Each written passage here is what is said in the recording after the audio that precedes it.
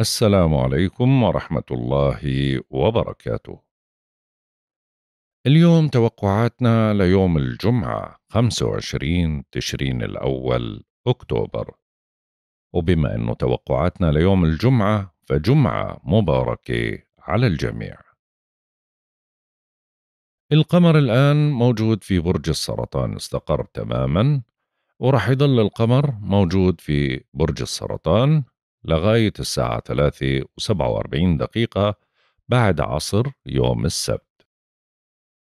القمر بما أنه الآن موجود في منزلة الزبرة وهي منزلة للربح والحرية والصلاح والإصلاح اللي هو موعد بث الحلقة الساعة 10 و46 دقيقة مساء يوم الجمعة انتقل القمر من الزبرة لمنزلة الصرفة وهي منزلة للربح والضرر والخراب.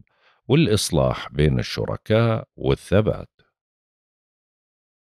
القمر اليوم موجود في برج الأسد وبما أنه موجود في برج الأسد معناته تأثيره على جميع الأبراج إنه الناس من حولنا في هذا الوقت بيكونوا أكثر كرما مما اعتدنا عليه ماديا وعاطفيا وبينصب التركيز على الفرح والترفيه والتجميل وممارسة الهوايات ومشاركة العاطفة مع الأحبة يمكننا التواصل مع المسؤولين ومحاولة إجراء استفسارات ونصائح بشكل صحيح. بإمكاننا تعزيز العلاقة مع أحبائنا، أبنائنا، ويمكننا أن نقترض الأموال أو نستثمر أو نشتري المجوهرات الثمينة. ومنكون جريئين ومنرتدي الملابس الأنيقة ومنهتم بمظهرنا الخارجي اللي بيلفت انتباه الآخرين لإلنا. بالنسبة للزوايا الفلكية طبعا أول زاوية رح نتكلم عنها وهي زاوية تسديس إيجابية بين المريخ وبين أورانوس. هاي الزاوية رح تكون الساعة 12 و 13 دقيقة بعد منتصف هاي الليلة. فيعني تعتبر ساعة الفجر فبنكتسب الشجاعة لاتخاذ قرار حاسم في حياتنا. وطبعا هاي الزاوية تأثيراتها سبع أيام سابقة ومستمرة سبع أيام قادمة. وبتزيد من إصرارنا وشجاعتنا وميلنا للمجازفة والسرعة. أما بالنسبة للزاوية التي تليها وهي زاوية تربيع سلبية بين القمر وبين عطارد هاي الزاوية رح تكون الساعة 44 دقيقة بعد العصر بتوقيت غرينتش بعض الأشخاص بيشغلوا فكرهم في استحضار ذكريات من الماضي لا طائل منها وبتجعلهم مزاجي الطباع هي مصدر للتوتر وخصوصا للأشخاص اللي بيكونوا متعبين من كثرة المسؤوليات أو الضغوط. فممكن يصير عندهم تشتت فكري ويتعرضوا لبعض الحوادث.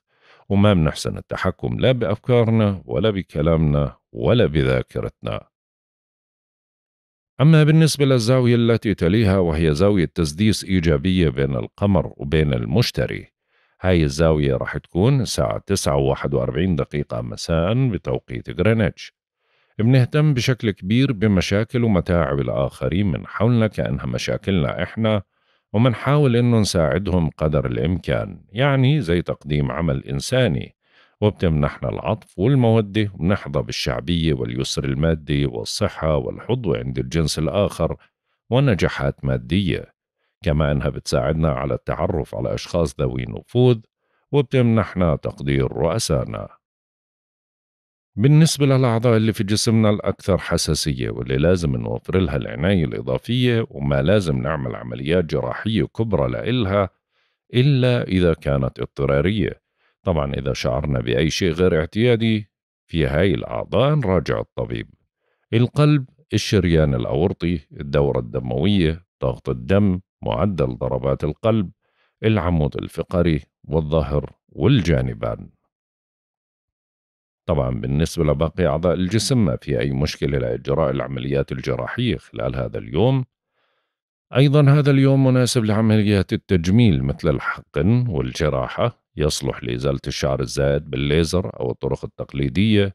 يصلح لقص الشعر التجميلي ويصلح للصبغ والحنة ولكنه لا يصلح للقص العلاجي القمر بما أنه استقر في برج الأسد خلو المسار القادم رح يبدأ يوم السبت الساعة 8 وثلاث دقائق صباحا بتوقيت غرينتش وبيستمر حتى تمام الساعة 3 و47 دقيقة بعد العصر بتوقيت غرينتش.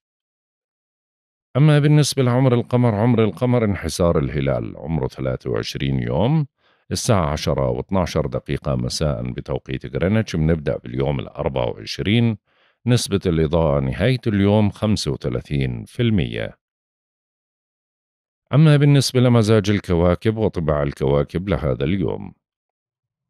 الشمس في العقرب حتى يوم 21 11 منتحس بنسبة 15% القمر في الأسد حتى يوم 26 10 سعيد بنسبة 15% الآن ساعات الصباح سعيد بنسبة 30% ساعات الظهر سعيد بنسبة 5% ساعات العصر منتحس بنسبة 25% عطارد في العقرب حتى يوم 2 11 سعيد بنسبة 15% الآن ساعات المساء سعيد بنسبة 45% الزهرة في القوس حتى يوم 11 11 منتحس بنسبة 15% المريخ في السرطان حتى يوم 4 11 سعيد بنسبة 60% المشتري في الجوزاء بيتراجع حتى يوم 4 2 منتحس بنسبة 60% زحل في الحوت بيتراجع حتى يوم 15 11 منتحس بنسبة 10% أورانوس في الثورة بيتراجع حتى يوم 30 واحد منتحس بنسبة 5%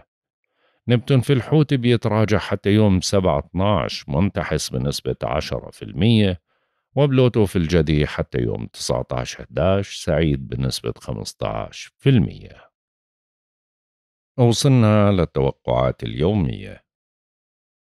برج الحمل.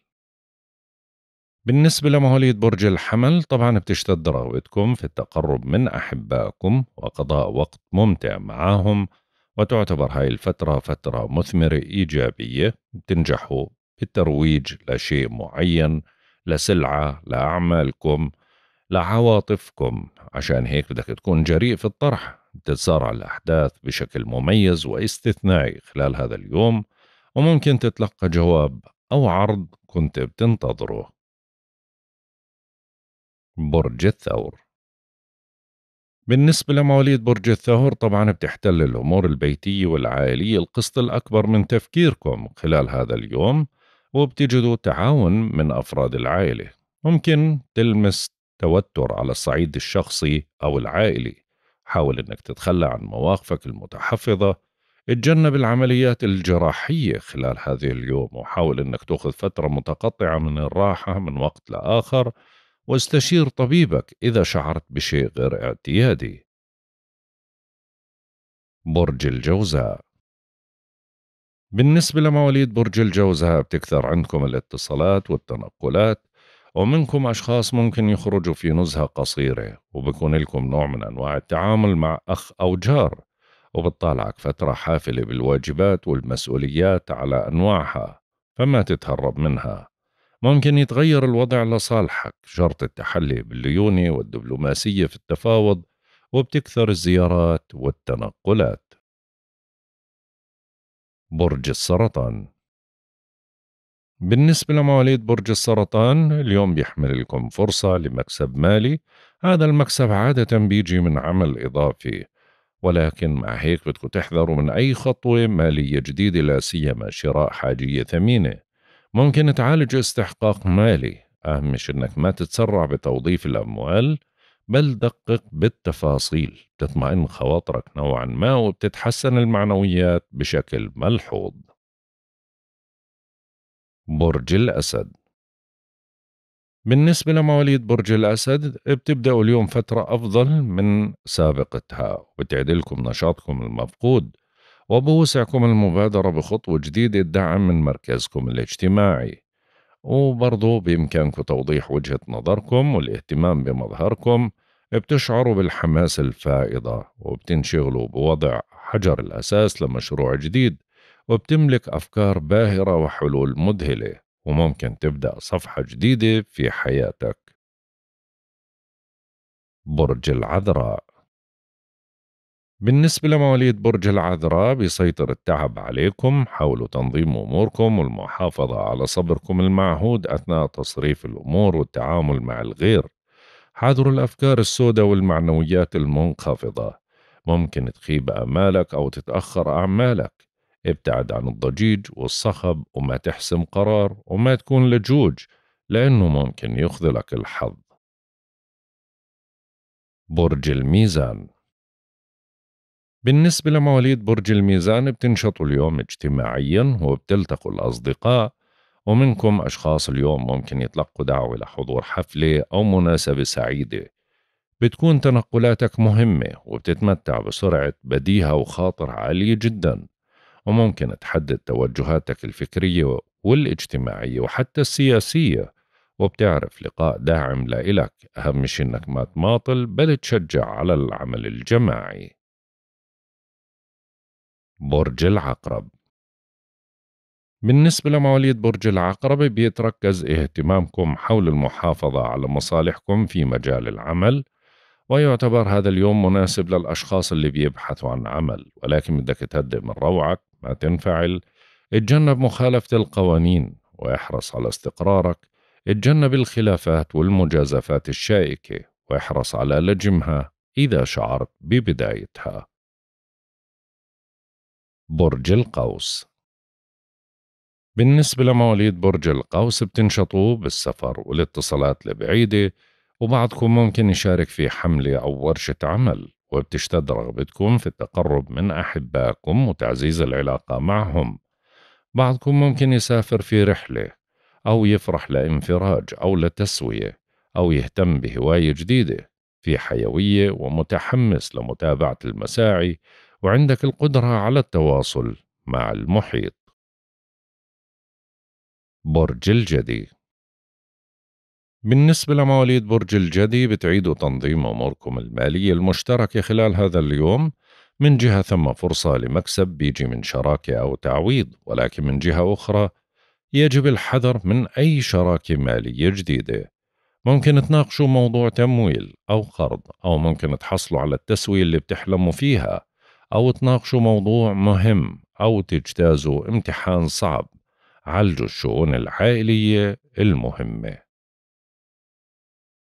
برج الدلو. بالنسبة لمواليد برج الدلو طبعا اليوم بترغبوا في تدعيم شراكاتكم ويعتبر هذا اليوم مناسب للقيام بعمل بتطلب تعاون من طرف ثاني. حاذروا الخلافات وما تضخموا الأمور. اليوم أنتم مرهفين الإحساس متوترين بسبب قلق ما فبدكم تحاذروا إثارة العدائية والبلبلة لأنه مزاجك متقلب وعصبي وهذا الشيء ممكن يثير النفور بالأشخاص اللي بيتعاملوا معك. برج الحوت. بالنسبة لمواليد برج الحوت بيبدأ العمل بالتراكم لديكم تدريجيا.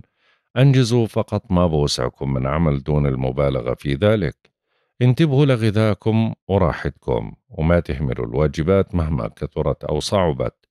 راعوا ظروفكم الصحية وكونوا دقيقين ومنظمين ومراعين لظروفكم ولمعنوياتكم. هيك منكون انتهينا من توقعاتنا على هذا اليوم. والله أعلم. يا رضا الله ورضا الوالدين. سبحانك اللهم وبحمدك. أشهد أن لا إله إلا أنت. أستغفرك وأتوب إليك. أترككم في رعاية الله وحفظه. إلى اللقاء.